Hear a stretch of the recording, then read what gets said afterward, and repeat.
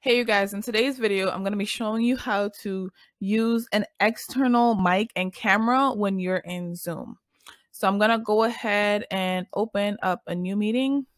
Once it loads up, hey, here, here I am. Uh, you're going to see yourself on the screen. My Zoom is super connected and I have a bunch of videos of all the components of how I've connected my video. So you'll see the pop-up, join with computer audio so I'm going to hit that. And mine is auto recording. And I have another video that shows you how to have this auto record. So I'm going to stop the recording.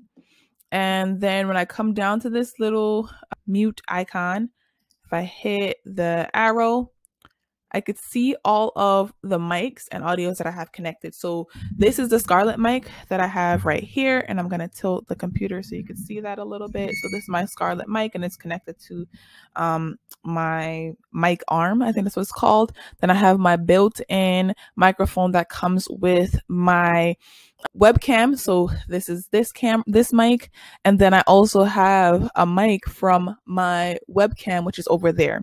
So I'm gonna change the view, and I could also switch the speakers, so I could have my audio coming from my headphones, which is the Scarlett USB headphones, or it could come out of my built-in speakers.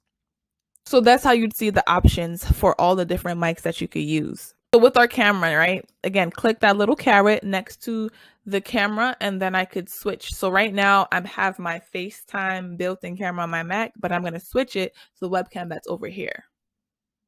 So now this is a different view and it's coming from the webcam. You can also see a different kind of quality. So, you know, I'm in like a little studio and then I could switch it back